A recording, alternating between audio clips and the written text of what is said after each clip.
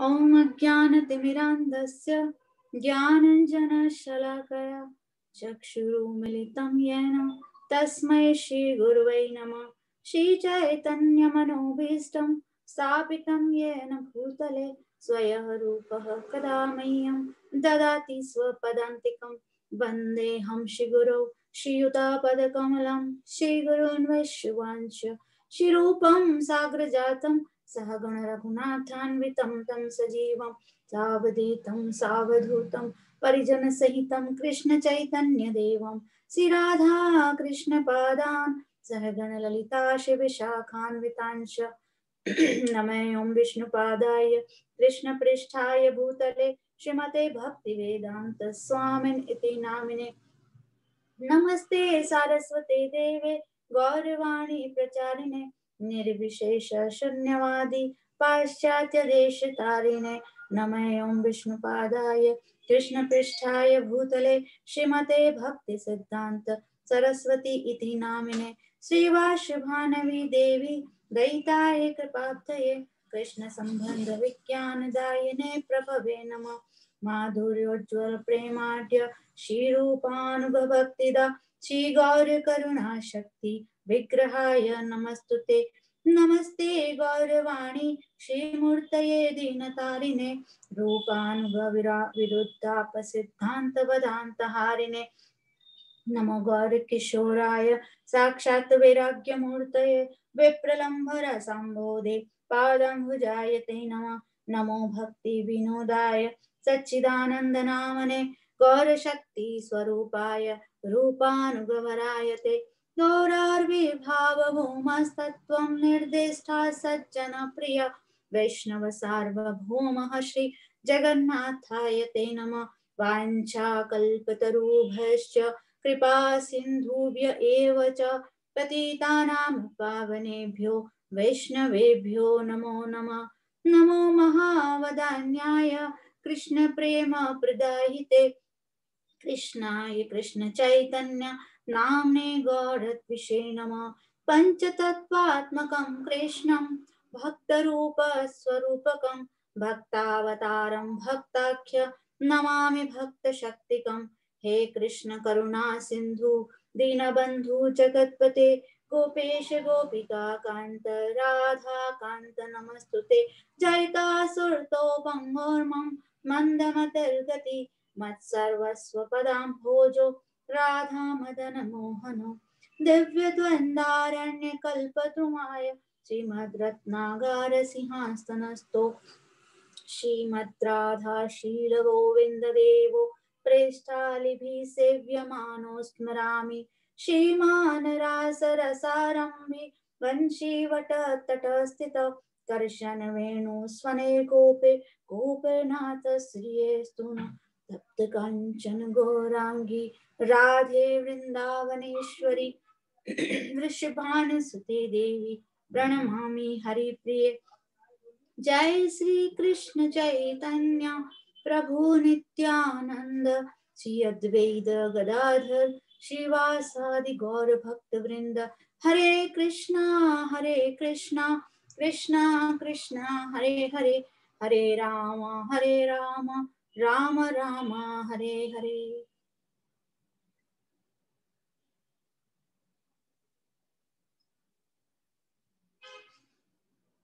हरे कृष्णा अध्याय दो श्लोक नंबर नौ। नौ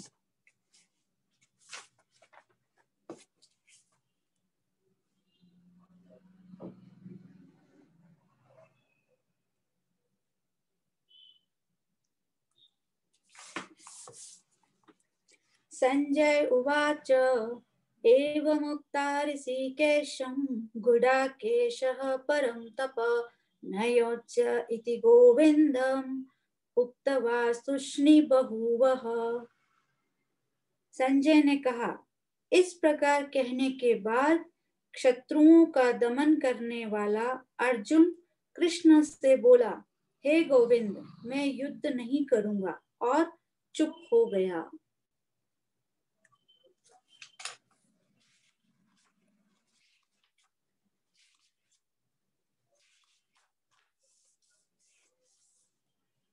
तो इस श्लोक में जो है, अर्जुन श्री कृष्ण से उपदेश सुनने के लिए अपनी तत्परता जो है वो प्रकट कर रहे कि उनको कैसे न कैसे करके अर्जुन को भगवान श्री कृष्ण से जो उनका उपदेश है वो प्राप्त कर रहा है। ठीक है ना? तो अब क्या हो रहा है कि दोनों सेनाएँ अर्जुन ने भगवान को बोला, अपने रथ को दोनों सेनाओं के बीच में लेके चलो। ठीक है? तो भगवान उनके रथ को दोनों सेनाओं के बीच में ले जाके खड़ा कर दिया। अब खड़ा करने के बाद दोनों तरफ़ से शंख ध्वनि भी हो गई, यानी कि शंख भी बज गए। अब जाके अर्जुन बोल रहे हैं ऐसी स्थिति में कि मुझे युद्ध नहीं करना। क्यों? क्योंकि अर्जुन यहाँ पे मोहग्रस्त हो गए, है ना? हमने पिछले श्लोकों में चर्चा किया। तो देखिए, अर्जुन का यहाँ पे कितना बड़ा साहस है कि वे युद्ध भूमि में ऐसी जगह पर युद्ध के ऐसे समय में भी उपदेश सुनने के लिए तैयार हैं। और तैयार ही नहीं, तत्पर एकदम मुझे सुनना ही सुनना है है ना? भगवान का उपदेश। तो इससे हमको पता चलता है कि अर्जुन जो है वो भगवान श्री कृष्ण और भगवान श्री कृष्ण से संबंधित जो भी बातें होती थी, उनको सुनने के लिए कितने तत्पर वो रहते थे। तो एक बार एक घटना है, उसमें महाभारत युद्ध के बाद जब युधिष्ठिर महाराज ने अश्वमेध यज्ञ किया था तो उनका जो वो घोड़े थे अश्वमेध यज्ञ के, वो घोड़े आगे चल रहे थे, उनके पीछे सेना और उनके पीछे अर्जुन चल रहे थे, ठीक है? तो चलते चलते क्या हुआ कि उनका जो घोड़ा था, वो राजा चंद्रहास के नगर में चला गया, है ना? राजा चंद्रहास के नगर में उनका घोड़ा चला गया। तो जैसे ही गया, इधर से अपना ये नारद जी ऊपर से आकाश से गुजर रहे थे तो उन्होंने रुक के अर्जुन को बोला कि जो चंद्रहास राजा है, ये क्या है? भगवान श्री कृष्ण के बहुत बड़े महान भक्त हैं। क्या बोला? कि जो चंद्रहास राजा जहाँ जिनके नगर में तुम्हारा घोड़ा गया है, ये जो है वो भगवान श्री कृष्ण के बहुत अच्छे भक्त हैं। तो अर्जुन वहीं पे नारद जी से प्रार्थना करके बैठ गए। जैसे सुना कृष्ण के भक्त हैं चंद्रहास राजा, वहाँ पे बैठ गए, बोले, आप मुझे चंद्रहास राजा के चरित्र की कथा पूरी विस्तार से सुनो। अब देखो आप, अर्जुन का घोड़ा आगे जा रहा है, उनकी सेना चल रही है, वो भी चल रहे हैं और बीच में नारद जी के पास बैठ के बोल रहे हैं, आप मुझे चंद्रहास की कथा सुनो। तो नाराज़ जी ने बोला कि भाई देखो पार्थ, ये कौन सा समय है तुमको कथा सुनने का? चंद्रहास के बारे में बाद में भी सुन सकते हो। अभी कौन सा समय है? यहाँ पे एक समय का तो ध्यान रखो तुम। यहाँ पे तुम्हारा घोड़ा कहाँ दूर जा, चला गया है? उधर हस्तिनापुर में धर्मराज युधिष्ठर बहुत चिंतित बैठे हुए हैं और तुम यहाँ पे ऐसी विषम स्थिति में तुम बोल रहे हो कि मुझे कथा सुननी है। उसके लिए तुम्हारे पास टाइम कहाँ है? छुट्टी कहाँ है? तुम्हारे पास ये सब सुनने के लिए थोड़ा समय तो चाहिए। समय कहाँ है तुम्हारे पास? तब तो भी अर्जुन ने बोले, मुनि ऐसा है कि कुरुक्षेत्र के मैदान में जब दोनों सेनाएँ, वहाँ पे बता रहे हैं उनको कुरुक्षेत्र के मैदान में जब दोनों सेनाएँ इकट्ठी हो गई थी आमने सामने और जब शंख भी बज गए थे, तब भी मैंने भगवान श्री कृष्ण से कथा सुनी थी। तो ये तो ये तो चलता रहेगा, घोड़ा जाएगा, जा, चला जाएगा, जो करना हो जाएगा, लेकिन मुझे तो आप, ये कथा आप सुनाओ। तो और वहाँ पे अर्जुन ने उनको बताया भी था कि जो जो लोग, हमारी मनुष्यों की आयु बहुत छोटी होती, नारद जी को बताया भी था मनुष्यों की आयु एक्चुअली में बहुत छोटी होती है और जो लोग इस आयु का अच्छे से उपयोग नहीं करते हैं कृष्ण कथा या उनके भक्तों की कथा सुनने में, उनका जीवन वेस्ट है। बोलते हैं कि काल द्वारा ठग लिए गए हैं वो लोग। जिन, जो कृष्ण की कथा समय पे फटाक से मौके का फ़ायदा उठा के नहीं सुनते हैं, वो काल के द्वारा ठगे हुए लोग हैं। तो आप तो मेरे को प्लीज़ कृपा करके मेरे को कथा सुनाओ। भले घोड़े जाए तो जाए यज्ञ पूर्ण हो, ना हो, परंतु कल्याणकारी मनुष्य को चाहिए कि विष्णु संबंधी कथा का सम्यक रूप से श्रवण करे। क्योंकि जो कथा है, वो जो भगवान की जो कथा है, भगवान के भक्तों की जो कथा है, वो सैकड़ों अश्वमेध यज्ञों के बराबर है। अर्जुन बोल रहे हैं। क्या बोल रहे हैं?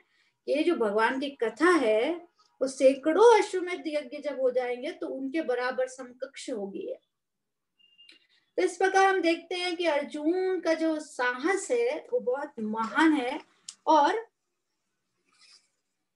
युद्ध को रोक करके कृष्ण के उपदेश में अपना मन लगा रहे हैं। युद्ध होना शुरू हो गया सब कुछ, लेकिन वो अर्जुन जो है वहाँ पे युद्ध को रोक के भी कह रहे हैं कि मैं युद्ध नहीं करूँगा। बोल रहे ना, यहाँ पे युद्ध नहीं करूँगा और चुप हो गए श्लोक में।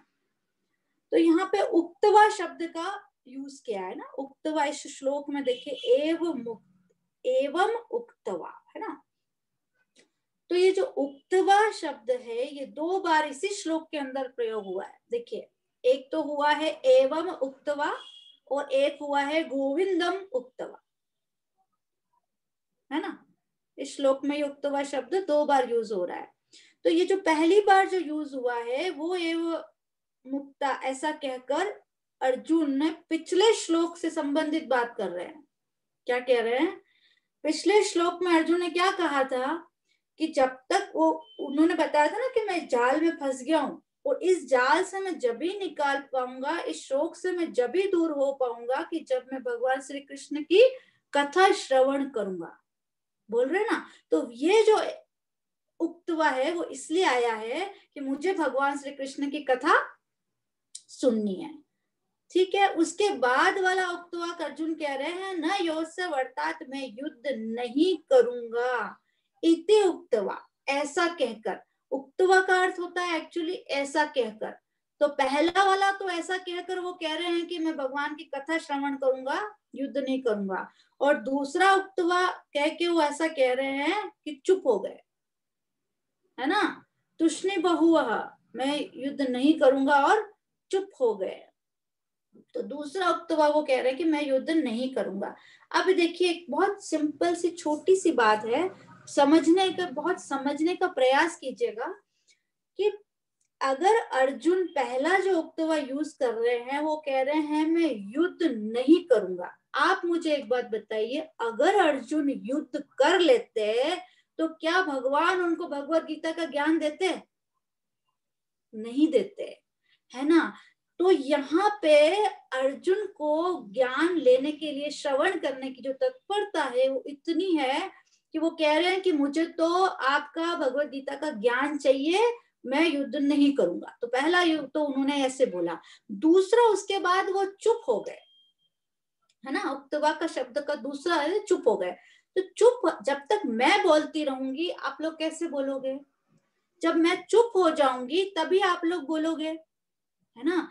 तो यहाँ पे अर्जुन अगर चुप नहीं होंगे, बोलते रहेंगे वो कृष्ण को तो कृष्ण कैसे बोलेंगे? तो इसीलिए यहाँ पे अर्जुन जो है वो चुप हो गए। युद्ध कर नहीं करूँगा कह के और चुप हो गए और ताकि वो कृष्ण का उपदेश सुन सके, है ना? इसके बाद बोल रहे हैं ऋषिकेशम। तो ऋषिकेश का जो अर्थ है, वो केश मतलब तो होता है स्वामी। सॉरी ईश का मतलब तो होता है स्वामी, है ना? और जो ऋषिक शब्द है, वो है इंद्रिया। तो वो, यहाँ पे जो इंद्रिया है, वो ज्ञानेन्द्रिया है हमारी, है ना? तो जो ऋषिकेश का शाब्दिक अर्थ है, वो ये है कि ऋषिक मतलब ज्ञानेन्द्रिया और ईश का मतलब है स्वामी राइट है ना? तो यहाँ पे क्या हो गया ऋषिकेश का अर्थ ज्ञानेन्द्रियों के स्वामी। अब ज्ञानेन्द्रियों के स्वामी कौन है? भगवान श्री कृष्ण है। तो जो ज्ञानेन्द्रियों के स्वामी है, उनको जो हमारी इंद्रिया, ज्ञानेन्द्रिया है, जो उनको किसकी सेवा में लगानी चाहिए हमको? भगवान श्री कृष्ण की सेवा में लगानी चाहिए ना अपनी इंद्रियों को ज्ञानेन्द्रियों को, है ना? क्योंकि स्वामी कौन है इनके? भगवान है ना? स्वामी तो वही है। तो यहाँ पे यही चीज़ है कि हम, हमारे शरीर में मुख्यतया पाँच ज्ञानेन्द्रिय है। आप सब जानते हैं, है ना? लेकिन फिर भी हम थोड़ा सा डिस्कस करेंगे यहाँ पे कि पाँच प्रकार की जो पाँच ज्ञानेन्द्रिया है, वो पाँच प्रकार की क्रियाओं का क्रियाएँ करती है और पाँच विषयों का हमको ज्ञान देती है। ये जो हमारी पाँच ज्ञानेन्द्रिया है वो हमको पाँच तरह की, पाँच विषयों का ज्ञान देती है। कान के द्वारा हम श्रवण करते हैं और शब्द का ज्ञान प्राप्त करते हैं। क्या करते हैं? कानों के द्वारा हम सुनते हैं और शब्द का ज्ञान हम प्राप्त करते हैं, है ना? आँखों के द्वारा हम देखते हैं और रूप का ज्ञान प्राप्त करते हैं। क्या करते हैं? आँखों के द्वारा हम देख के और रूप का ज्ञान हम प्राप्त करते हैं। तीसरी है हमारी त्वचा। त्वचा के द्वारा हम छू करके और स्पर्श का ज्ञान करते हैं, है ना? जो हमारी त्वचा है, इसके द्वारा हम छू करके और स्पर्श का ज्ञान करते हैं। उसके बाद हमारी जिह्वा है। जो हमारी जिह्वा है उसके द्वारा हम चख कर और रस का ज्ञान प्राप्त करते हैं जिह्वा के द्वारा हम कुछ भी चीज़ को चख के और रस का ज्ञान हम प्राप्त करते हैं। पांचवा हम नासिका है हमारी, जिसको हम, जिसके द्वारा हम सूंघ करके गंध का ज्ञान प्राप्त करते हैं। जो हमारी नासिका है, उससे हम सूंघते हैं और हमको गंध का ज्ञान प्राप्त होता है। तो ऋषिकेश का अर्थ यहाँ पे हुआ कि व्यक्ति के शरीर के इन पाँचों इंद्रियों के द्वारा भगवान श्री कृष्ण की सेवा होनी ही चाहिए। राइट क्योंकि वो हमारे स्वामी है, हमारे जो इंद्रियाँ हैं, हमारी जो ज्ञानेन्द्रिया है, उनके स्वामी कौन है? हमारे भगवान श्री कृष्ण है है ना? तो उनकी सेवा में हमको ये इंद्रिया लगानी चाहिए। तो अगर हम इंद्रियों को भगवान श्री कृष्ण की सेवा में ना लगाएँ। अगर हम इन इंद्रियों को, जो पाँच हमारे ज्ञानेन्द्रिया है, अभी हम सिर्फ़ ज्ञानेन्द्रियों की बात ही कर रहे हैं यहाँ पे, है ना? तो ये जो ज्ञानेन्द्रिया है, इनको अगर हम भगवान श्री कृष्ण की सेवा में ना लगाएँ तो क्या होगा? ठीक है? तो यदि कानों के द्वारा हम भगवान श्री कृष्ण का गुणगान ना सुने तो इन कानों का कोई मतलब है? इन कानों का कोई मतलब नहीं है। अगर हम भगवान श्री कृष्ण का गुणगान इन कानों से ना सुने तो इन कानों का कोई भी मतलब नहीं रह जाता है। इस शरीर में ये एक व्यर्थ का अंग हो जाएगा। फालतू के छेद कर रखे हैं, कोई मतलब नहीं है और अगर इन कान से भगवत गीता या भागवतम का श्रवण करके हम भगवान की सेवा में नहीं लगते हैं तो निश्चित रूप से इन कान के छेदों के अंदर से कूड़ा करकट अंदर जाएगा। पक्का है ये। आप कुछ ना कुछ जाएगा तो सही। या तो आप कृष्ण की कथा डालो और नहीं तो आपके फालतू का, व्यर्थ का प्रजल्पा, व्यर्थ की चर्चाएँ, है ना? इधर उधर की व्यर्थ की चर्चाएँ आपके कानों में पड़ेगी। ठीक है? तो इस प्रकार से कानों के जो छिद्र हैं, उनसे व्यक्ति को कूड़ा करकट के समान विचारों से अत्यंत दूषित हो जाएँगे वो कान। कूड़ा करकट जाएगा तो दूषित होंगे ना कान हमारे। तो हम क्यों कूड़ा करकट को जाने दें? हम भगवान की कथा ही श्रवण करें ना, ताकि हमारा शुद्ध रहे कान। देखिए, कान को भगवान की सेवा में लगाने का तरीका। ठीक है? दूसरा है हमारे नेत्र। नेत्रों के द्वारा हम देखें तो अगर हम भगवान श्री कृष्ण के इतना दिव्य रूप है उनका उनका दर्शन अगर हम नहीं करते हैं तो इन आँखों का कोई मतलब नहीं है। ये आँखें किसके समान है? आपने मोर का पंख देखा है? मोर के पंख के अंदर आँख होती है। होती है ना? ऐसे ऐसे बनी हुई, है ना? तो अगर हम कितने, दिखने में कितने बढ़िया लगती है वो, मोर के पंख की आँख, लेकिन उसका कुछ यूज़ है क्या? उसके द्वारा देख सकते हैं क्या अपन? नहीं देख सकते, या मोर देख सकता है क्या? मोर भी नहीं देख सकता है।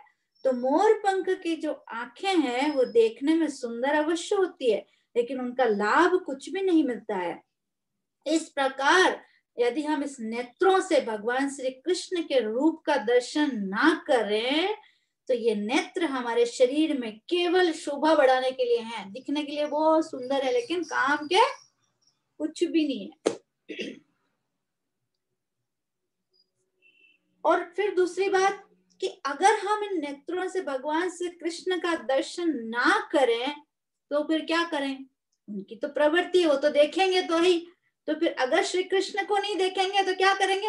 वो फालतू की सिनेमा देखेंगे, टीवी देखेंगे, फालतू की चीज़ें देखेंगे। नेत्र तो देखेंगे, उनका काम है तो देखने का ना, है ना?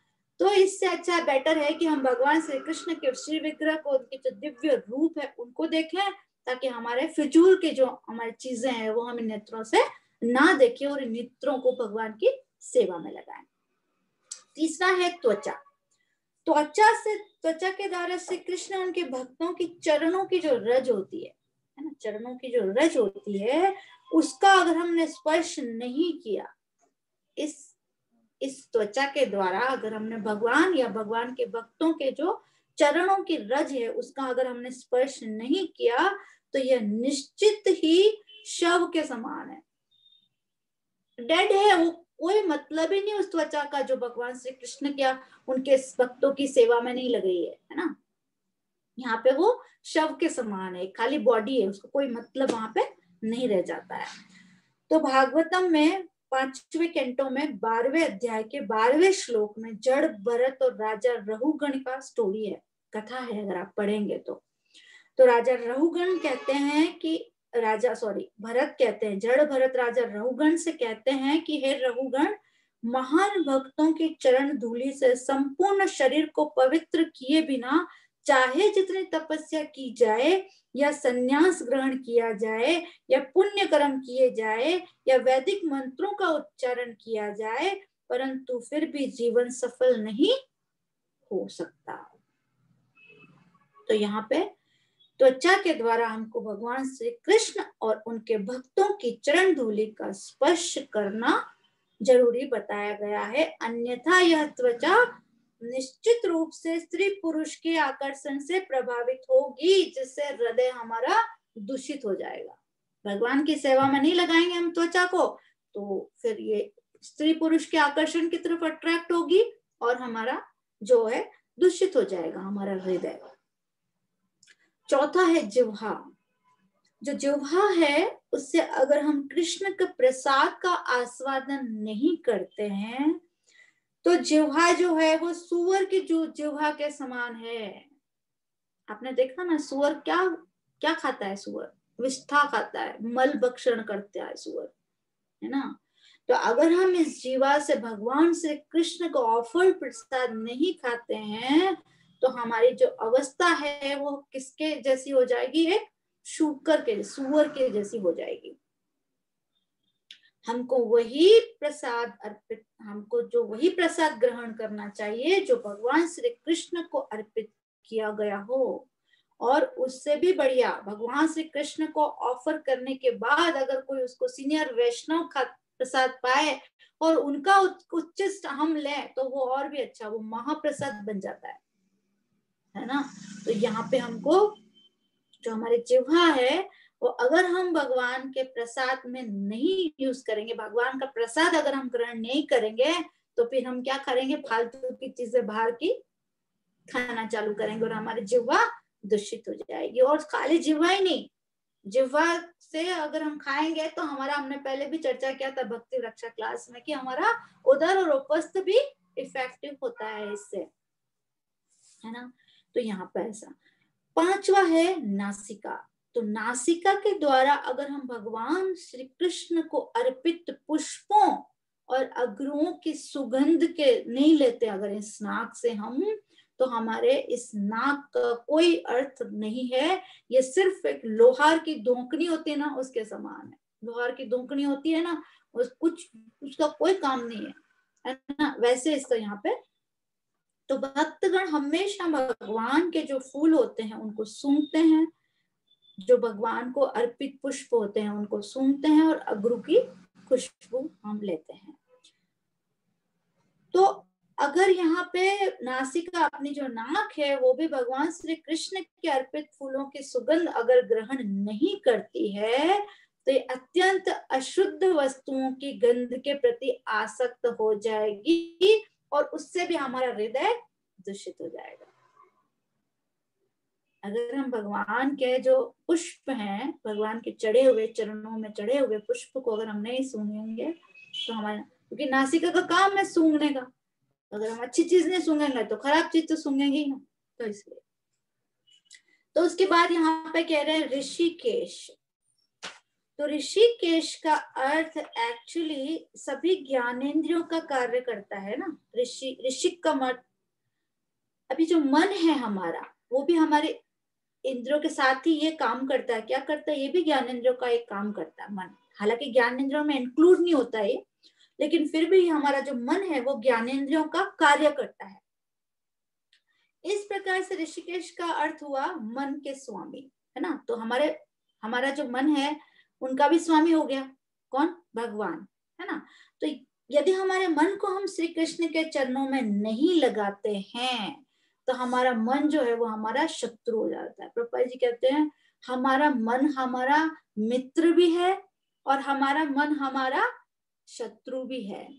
अगर हम इसको भगवान की सेवा में हमारे मन को लगाएँगे तो ये हमारा मित्र है है ना? और अगर हम इसको भगवान की सेवा में नहीं लगाएँगे तो ये हमारा शत्रु बन जाएगा, मन जो है हमारा। और ऋषिक का एक अर्थ बुद्धि भी है।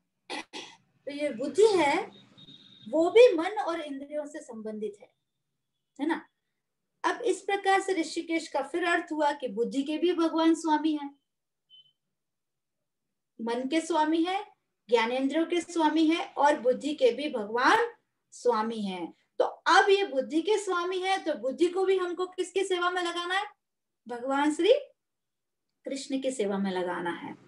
अगर हम इस बुद्धि को भगवान श्री कृष्ण की सेवा में नहीं लगाएँगे, हैं तो क्या होगा? हमारी जो बुद्धि है, वो माया देवी है ना, वो माया देवी इसको हर लेगी, पकड़ लेगी और आच्छादित कर देगी, ढक देगी एकदम बुद्धि को। तो जैसे हम उदाहरण ले सकते हैं कि जैसे एक नाव है, एक नाव है, ठीक है? उस नाव, वो नाव चल रही है। उस नाव में नाविक बैठा हुआ है। या नाव का उदाहरण तो जैसे उस नाव को जो हवा, जो अगर आपका डायरेक्शन ये है और हवा का डायरेक्शन ऐसे हुआ तो नाव ऐसे मुड़ेगी कि नहीं मुड़ेगी?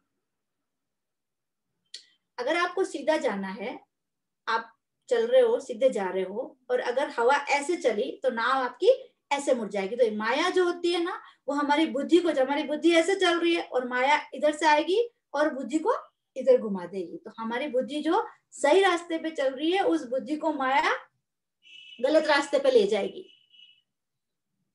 ठीक है? तो यहाँ पे अगर हम एक एक, एक उदाहरण लेते हैं।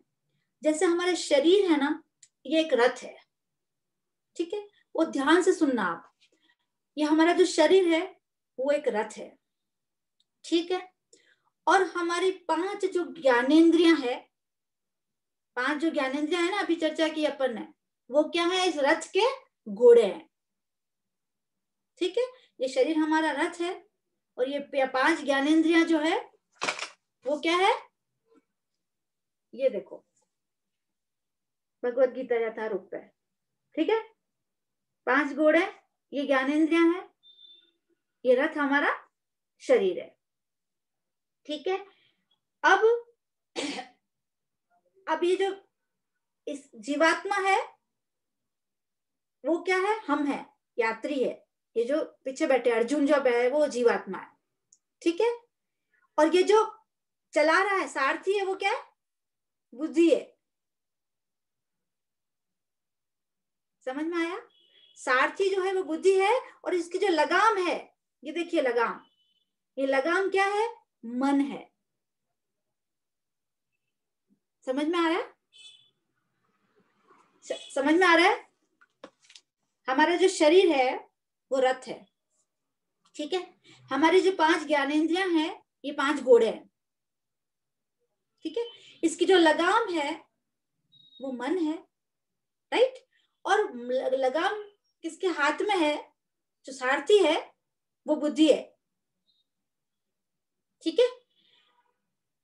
और हम जो है, वो जीवात्मा है, हम यात्री हम बैठे हुए अर्जुन की तरह पीछे चल रहे हैं ठीक है? तो हमारी जो बुद्धि है, वो भौतिक बुद्धि जब तक श्री कृष्ण के द्वारा प्रशिक्षण अब आप मुझे बताओ, एक ड्राइवर है। बुद्धि हमारी सारथी है ना? वो सारथी ड्राइवर ही समझ लो आप उसको। अगर ड्राइवर को डायरेक्शन सही से मिलेगा तो ही तो वो सही रास्ते पे जाएगा। अगर आप उसको बोलोगे कि मुझे अहमदाबाद चलना है तो वो इधर वाला रास्ता लेगा। आप बोलोगे मुझे नाथद्वारा जाना है तो उधर वाला रास्ता लेगा। भीलवाड़ा जाना है, मुंबई जाना दिल्ली जाना अलग अलग रास्ते ना सबके। तो जब हम उसको गाइड करेंगे कि भाई, ये वाला रास्ता है तो ये चल तो यहाँ पे जो हमारी बुद्धि है, वो अगर भगवान श्री कृष्ण के द्वारा डायरेक्टेड है, अगर वो भगवान डायरेक्शन दे रहे हैं उसको बुद्धि को, कि तुम ऐसे चलो तो तो वो सही रास्ते पे चलेगी। और अगर भगवान ने डायरेक्शन नहीं दिया तो माया देवी अपना डायरेक्शन में चला देगी उसको। तो हमारी बुद्धि कहाँ गई? डायरेक्शन चेंज हो गया बुद्धि का, और वो अलग डायरेक्शन में चली जाएगी। तो यहाँ पे संजय जो है, वो श्री कृष्ण को ऋषिकेश कहकर इस बात का संकेत कह रहे दे रहे हैं कि जिस प्रकार भगवान श्री कृष्ण ने अर्जुन के रथ के सारथी बनकर अर्जुन के शरीर की रक्षा की थी उसी प्रकार श्री कृष्ण अर्जुन के शरीर रूपी रथ के बुद्धि रूपी सारथी को भी उचित प्रशिक्षण देके और शुद्ध करके अर्जुन की आत्मा की रक्षा करेंगे। यहाँ पे उनको संजय ने जो ऋषिकेश कहा है ना, वो ऋषिकेश इसीलिए कहा है कि अर्जुन यहाँ पे चाह रहे हैं कि वो भगवान श्री कृष्ण उनकी बुद्धि की रक्षा करे। उसके बाद है गुडाकेश। तो गुडाकेश का मतलब होता है आलस्य, निंद्रा और थकान। है ना? गुडाकेश का क्या मतलब हुआ? आलस्य, निद्रा और थकान।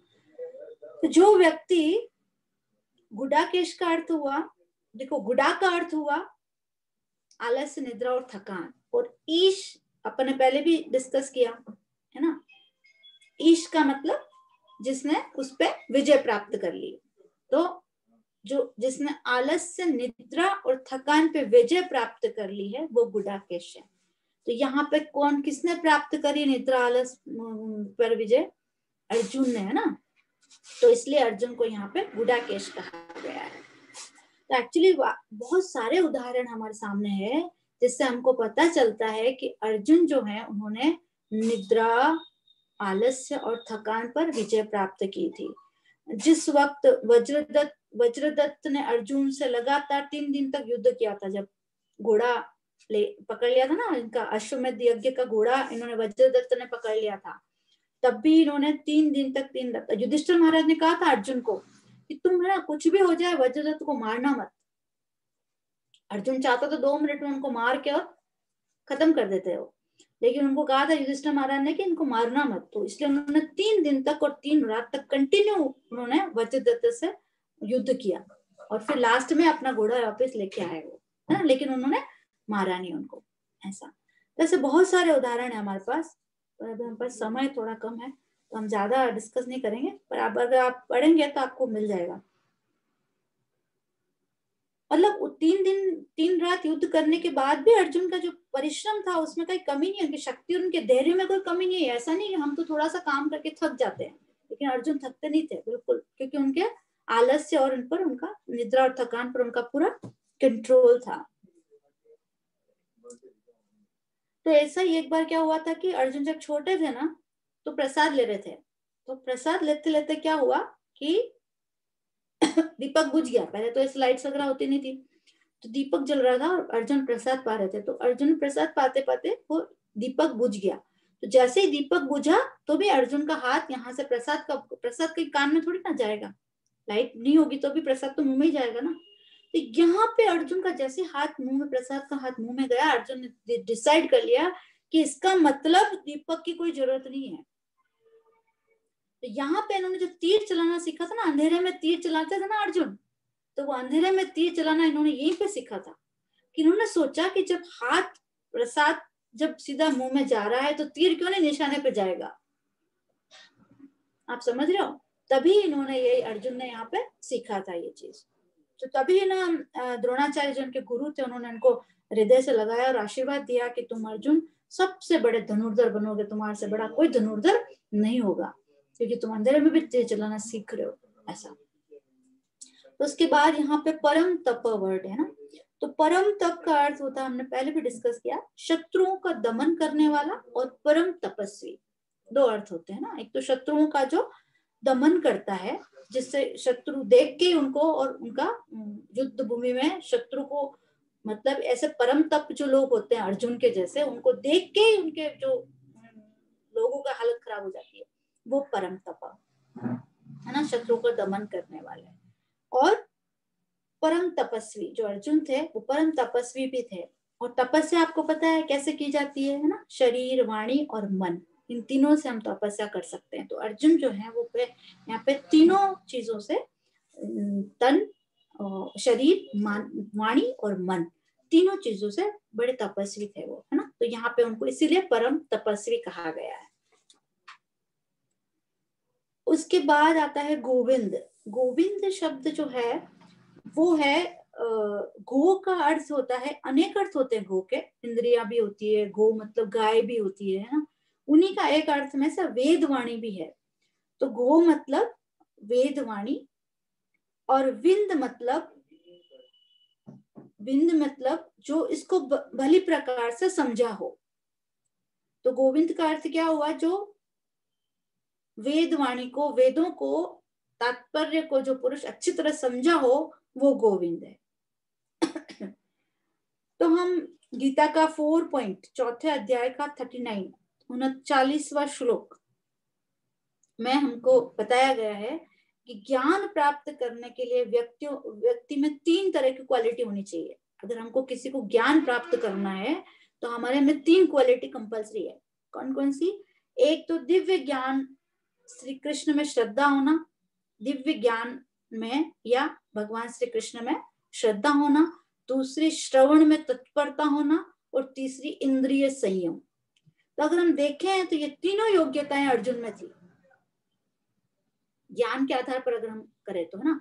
क्योंकि तीनों, देखो, भगवान श्री कृष्ण में श्रद्धा भी थी, अर्जुन की। थी ना? कि नहीं थी?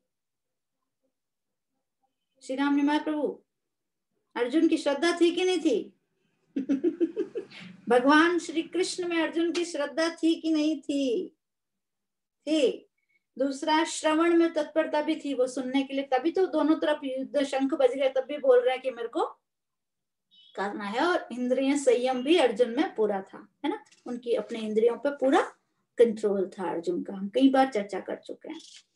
तो श्लोक नंबर दस, तमुवाच ऋषिकेश प्रसन्निव भारत सेनयोरुभयो मध्ये विषिदन्तमिदं वच। हे भरतवंशी धृतराष्ट्र उस समय दोनों सेनाओं के मध्य शोक मग्न अर्जुन से कृष्ण ने मानो हँसते हुए ये शब्द कहे। अब इस श्लोक में धृतराष्ट्र को संजय जो है वो भारत नाम से पुकार रहे हैं। क्या कह रहे हैं? भारत ना? तो प्रथम अध्याय में हमको पता है कि ये जो प्रथम अध्याय शुरू हुआ वो किससे हुआ कि जो धृतराष्ट्र था, वो सुनना चाहता था, है ना? माम का पांडव शेव किम गुरुवत संजय। सुनना चाहता था वो संजय से कि क्या हो रहा है? युद्ध क्षेत्र धर्म क्षेत्र कुरुक्षेत्र माम का है ना?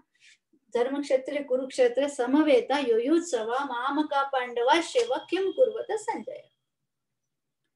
तो यहाँ पे अर्जुन के कार्यकलाप तो बता चुके संजय। लेकिन अब जो है, वो अर्जुन के साथ साथ देखो धृतराष्ट्र ने कभी भी भगवान श्री कृष्ण के बारे में सुनने की जिज्ञासा नहीं करी। धृतराष्ट्र ने कभी भी भगवान श्री कृष्ण से, के बारे में सुनने की जिज्ञासा नहीं करी। वो सिर्फ़ कह रहा है, माम का पांडव मेरे और पांडवों के पुत्रों के बीच में क्या हुआ जो सुनाओ मुझे? लेकिन संजय इतने स्मार्ट हैं कि उनको अर्जुन के माध्यम से वो भगवत गीता बता रहे हैं। संजय जो है वो अर्जुन का नाम ले ले के उनको पूरी भगवत गीता समझा दी उन्होंने। ऐसे कहा, उन्होंने ऐसे कहा, उन्होंने ऐसे कहा, भगवान ने ऐसे कहा। तो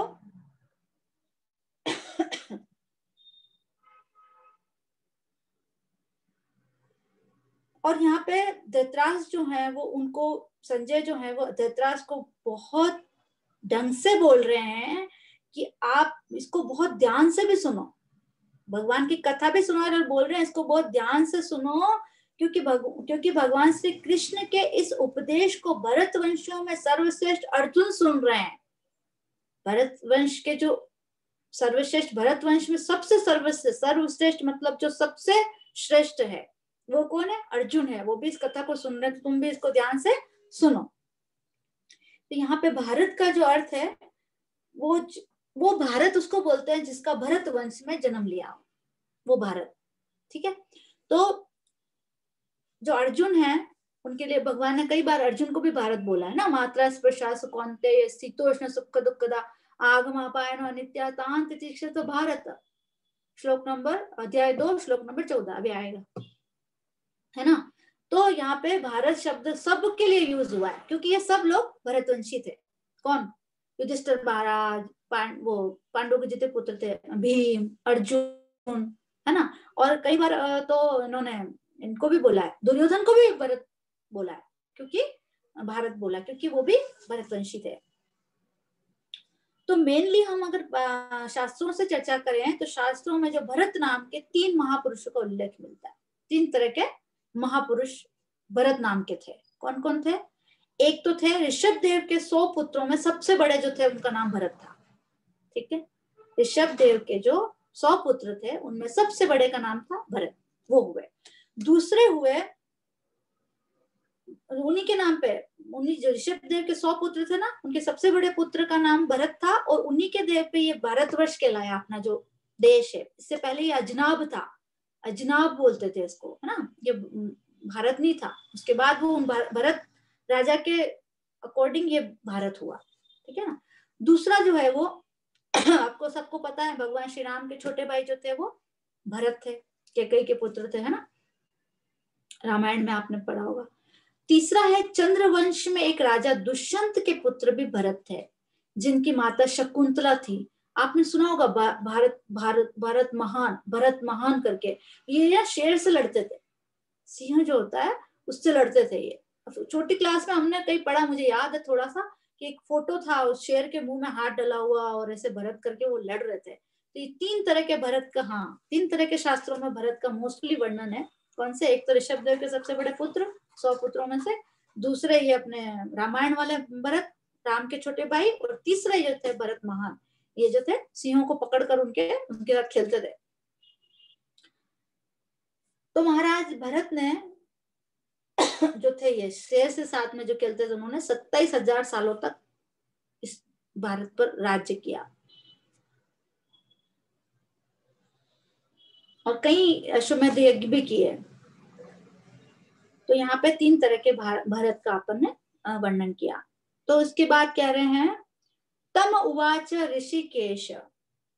श्लोक में क्या कह रहे? तम उवाच ऋषिकेश। तो ऋषिकेश ने अर्जुन से कहा, यह ऋषिकेश जो शब्द है, वो भागवतम में अगर आप पढ़ेंगे तो पहले कैंटो के आठवें अध्याय के तेईसवें श्लोक में आया है। ऋषिकेश शब्द, है ना? तो यहाँ पे कुंती महारानी जो है, वो कहती है कि, है ऋषिकेश, किसको कह रही है? भगवान श्री कृष्ण को कह रही है कि, ऋषिकेश, आपने अपनी माता देवकी को कंस के कागार, कारगार से मुक्त किया। आपने मुझे और मेरे पुत्रों को अनेक बार इतने सारे संकटों से बचाया। तो ऋषिकेश शब्द का प्रयोग करके यहाँ पे संकेत दे रहे हैं। कौन दे रहे हैं? संजय। क्या संकेत दे रहे हैं कि जिस प्रकार श्री कृष्ण ने देवकी तथा कुंती का शोक दूर किया, उसी प्रकार से श्री कृष्ण का शोक भी श्री कृष्ण अर्जुन का शोक भी यहाँ पे दूर करेंगे। यहाँ पे संकेत दे रहे हैं संजय। तो यहाँ पे श्री कृष्ण प्रह, प्रहसन्निव अर्थात मानो हँसते हुए तो भगवान श्री कृष्ण हंस रहे हैं। देखिए, भगवान श्री कृष्ण तीन कारणों से हंस रहे हैं यहाँ पे। पहला कारण क्या है? पहला कारण ये है कि अर्जुन ने धनुष उठा लिया और बड़े उत्साह से बोल रहा है कि चलो, रथ को लेके कहा चलो? दोनों सेनाओं के बीच में चलो, है? बड़े उत्साह से बोल रहा है। और अभी जाके क्या बोल रहा है? वहाँ जाके रथ खड़ा कर दिया भगवान ने। अभी क्या बोल रहा है? मुझे युद्ध नहीं करना। तो भगवान देख रहे हैं अर्जुन का जो साहस, उत्साह और विषाद के बीच में जो अर्जुन फंसे हुए ये देख के भगवान यहाँ पे हंस रहे हैं। दूसरा भगवान हंस रहे हैं कि श्लोक नंबर सात में अर्जुन ने क्या कहा था? कार्पण्य दोषोपहत स्वभाव। है? शिष्या में त्वाम सर्व समुड चेता। मुझे आप अपना शिष्य स्वीकार करो और क्या करो? अपना उपदेश दो। है ना? आप जैसा कहोगे, वैसा मैं करूँगा। शादी माम त्वम प्रपन्नम। है? और यहाँ पे क्या कह रहे हैं? क्या कह रहे हैं? यहाँ पे कह रहे हैं, मैं युद्ध नहीं करूँगा और बैठ गए। तो भगवान हंस रहे हैं। कह रहे तुम पहले तो तुम कह रहे हो कि मैं आपका शिष्य हूँ और मैं सब कुछ आप कहोगे जैसा करूँगा। और अभी आप कह रहे हो कि मैं युद्ध नहीं करूँगा। तो यहाँ पे इसलिए भगवान हंस रहे हैं। तीसरा भगवान इसलिए हंस रहे हैं कि इस प्रकार से बात करना। अब हम किसी से बात करें, अगर हम वाणी का हमारा को संयम होना बहुत ज़रूरी है। अगर हम किसी से बात करते हैं तो हमको ध्यान रखना चाहिए कि उसका मन आहित नहीं होना चाहिए। अगर हम किसी से बात करें और उसका मन अगर हमारी बात से दुखी हो जाता है तो हमारे वाणी का कोई यूज़ नहीं है। हमारी वाणी से किसी को भी कोई परेशानी नहीं होनी चाहिए। तो यहाँ पे क्योंकि क्योंकि अर्जुन जो है वो विषाद में डूबे हुए हैं, है ना? सॉरी तो श्री कृष्ण हँसते हुए बोल रहे हैं ताकि अर्जुन उद्विग्न ना हो। सॉरी तो जैसे बहुत ज़्यादा कोई आपके सामने दुखी होके आता है और अगर आप हंस के उसका सामना करते हो तो वो खुश हो जाएगा। एक थोड़ा सा तो उसका टेम्पर लो होगा ना? थोड़ा सा तो लो होगा। यहाँ पे भगवान वो भी वही कर रहे हैं कि अर्जुन एकदम दुखी होके और भगवान के सामने आए और भगवान हंस रहे हैं। ताकि वो थोड़ा सा उसका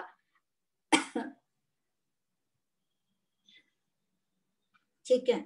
तो इसके बाद भगवान की हँसी के वैसे तो बहुत सारे कारण हैं, भगवान बहुत सारे आपको मैं अगर आप पढ़ना चाहते हैं तो मैं आपको बता देती हूँ। आप पढ़ लीजिएगा क्योंकि समय हो गया है। तो एक तो है ना, तीन पॉइंट पच्चीस और पैतीस और छत्तीस, थर्ड कैंटो में आपको मिलेगा पच्चीसवें अध्याय के पैंतीस और छत्तीस नंबर श्लोक में भगवान कपिल माता देहूति से कहते हैं, वो मिलेगा।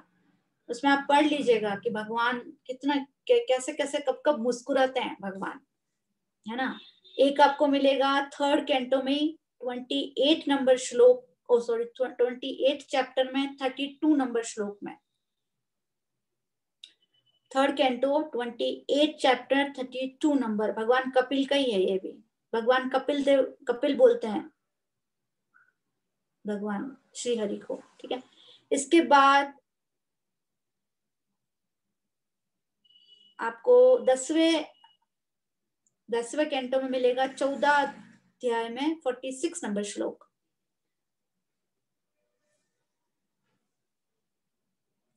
ऐसे आपको दसवें कैंटो में मिलेगा फोर्टी वन अध्याय ट्वेंटी एट नंबर श्लोक में।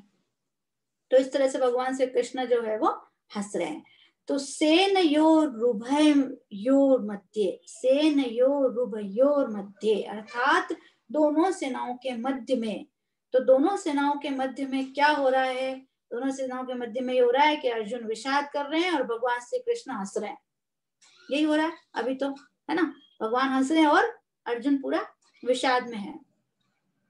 तो अर्जुन जब विषाद कर रहे हैं तो भगवान का एक हंसने का कारण यहाँ पे एक और बताया है कि जो लोग, जो देख रहे हैं ना अर्जुन को, वो सब लोग सोच रहे हैं कि अर्जुन डर गए। अर्जुन युद्ध नहीं कर रहे हैं, अर्जुन डर गए। तो भगवान इसलिए हंस रहे हैं ताकि वो लोग ऐसा नहीं समझे कि अर्जुन डर गए। अगर अर्जुन डर भी गए बाई चांस अरे हालाँकि वो तो विषाद में है, डर नहीं गए पर बाई चांस डर भी गए हो तो सामने वाला अगर उसको सच में ऐसा यूँ करके तो वो भी डर जाएँगे ना, वो सब लोग जो देख रहे हैं वो सोचेंगे कोई ज़रूर कुछ गंभीर बात हुई है। है ना? तो इसलिए भगवान यहाँ पे मुस्कुरा के ये उनको बता रहे हैं कि कोई गंभीर बात नहीं है, ये ऐसा।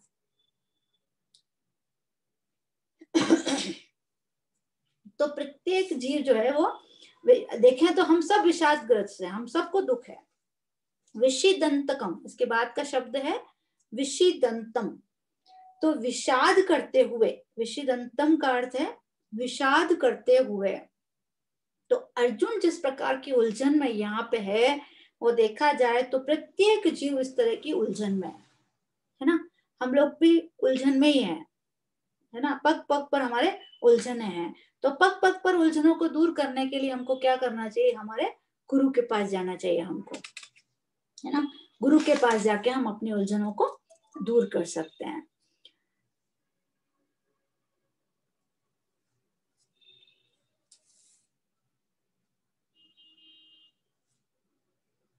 तो यहाँ पे जो अपनी कष्टपूर्ण स्थिति है, उसको समझना ही ज्ञान है।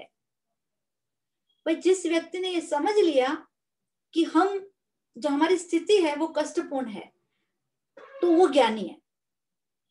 ठीक है? अगर आपने अपनी कष्टपूर्ण स्थिति को नहीं समझा तो आप, आपने ज्ञान प्राप्त नहीं किया। ठीक है? तो जब हमने ज्ञान प्राप्त नहीं किया है तो फिर हमको, इसीलिए तो जब भी हमको कोई पूछेगा how are you I am good I am fine हम यही बोलते हैं। है ना? और अब वापस हम अगर उसको पूछे हाउ आर यू तो वही बोलेगा I am good I am fine thank you यही बोलते हैं ना? क्योंकि हमको एक्चुअल में पता ही नहीं है कि हम कितने दुखी है। हमको एक्चुअल में मालूम ही नहीं है हम कितने दुखी है। क्यों?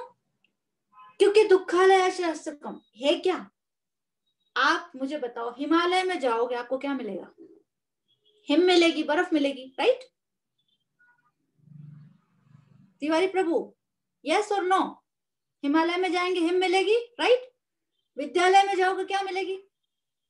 विद्या मिलेगी राइट मदिरालय में जाओगे, क्या मिलेगी? मदिरा मिलेगी। वैश्यालय में जाओगे, क्या मिलेगी? वैश्या मिलेगी राइट अब अगर हम हिमालय में जाके बोले, हमको विद्या चाहिए, मिलेगी? अगर हम विद्यालय में जाके बोले, हमको मदिरा मदिरा चाहिए, मिलेगी? नहीं मिलेगी।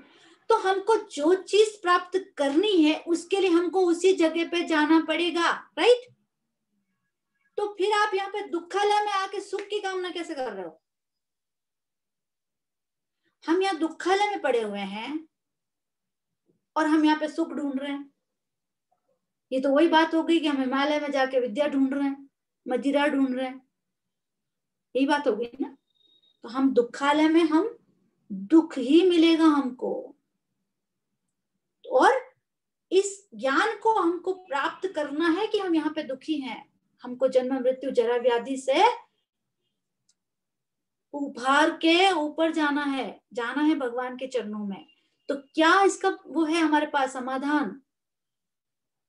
जन्म मृत्यु जरा व्याधि से हमको, देखिए, हर चीज़ में टाइम हो गया है, फिर भी मैं बता रही हूँ, जन्म अगर हम लेते हैं, आपको पता है, हमारी जो कंडीशन होती है, हम जब जन्म लेते हैं, आप ये सोचो कि हमको एक बोरे के अंदर, एक बोरे के अंदर बंद कर दिया, ऊपर से नॉट लगा रखा है, उसी बोरे के अंदर मल, मूत्र पीड़ा और जब माँ होती है ना वो जब कुछ तीखा खाती है ना, मिर्ची या नमक थोड़ा सा भी तेज तो वो हमारे को लगता है और वो इतना जलता है ना, इतना जलता है वो।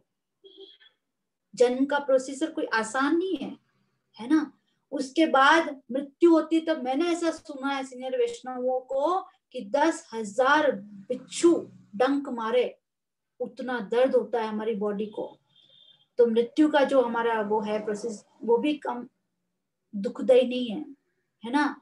उसके अलावा जन्म, मृत्यु, जरा, बुढ़ापा, आप कितनी भी संपत्ति प्राप्त कर लो, है? तो आप बुढ़ापे को रोक सकते हो? निश्चित रूप से आएगा बुढ़ापा, है? या हम कितनी भी संपत्ति इकट्ठी कर लें, भौतिक संपत्ति, क्या हम जन्म से बच सकते हैं? क्या हम मृत्यु से बच सकते हैं? हैं? बुढ़ापे से बच सकते हैं? नहीं। इवन हम जरा बुढ़ापा और व्याधि बीमारियों से भी नहीं बच सकते हैं। अगर कृष्ण की कृपा ना हो, आपके घर के बाहर, आपको भगवान ना करे कोई बीमारी हो गई, घर के बाहर दस डॉक्टर या बीस डॉक्टर की लाइन लगी हुई है। लेकिन अगर भगवान नहीं चाहता है, क्या आप ठीक हो सकते हो? हम ठीक हो सकते हैं।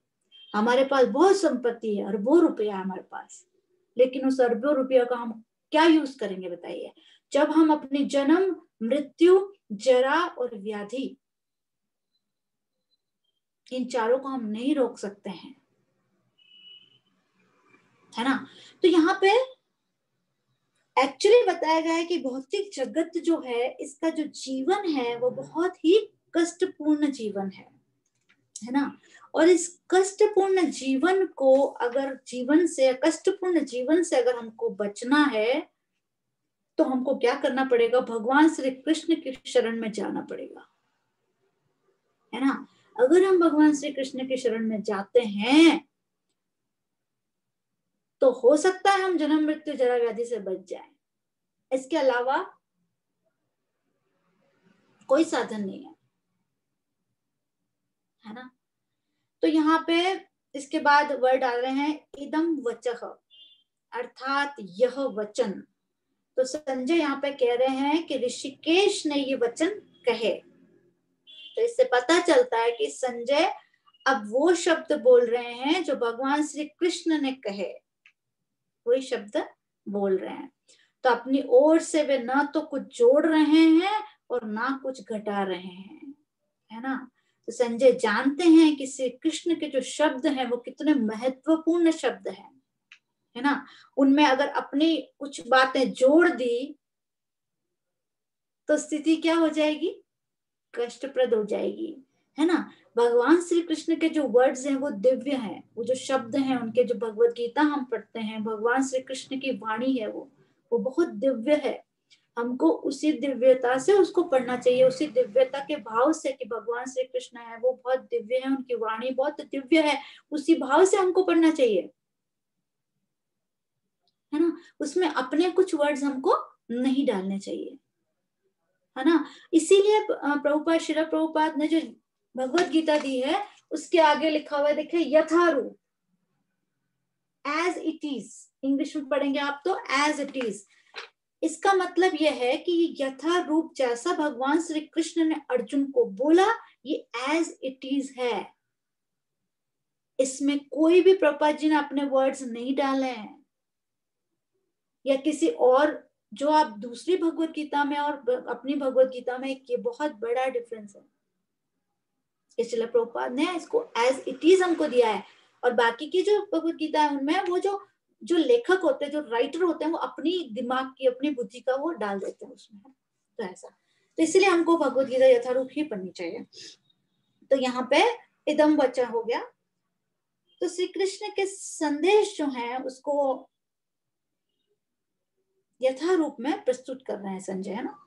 तो हमको भी ये शिक्षा मिलती है कि भगवत गीता की शिक्षाओं को हमको, लोगों को एज इट इज़ ही अगर हम उनको देंगे तो ही लोगों का जीवन पवित्र होगा। है ना? तो ठीक है। यहाँ पे हमारा श्लोक नंबर दस कंप्लीट होता है। आज थोड़ा सा टाइम ज़्यादा हो गया, क्षमा चाहती ठीक है। हरे कृष्णा नेक्स्ट मंडे मिलेंगे, श्लोक नंबर ग्यारह और बारह करने का प्रयास करेंगे हम। आज भक्त लोग कम आए हैं।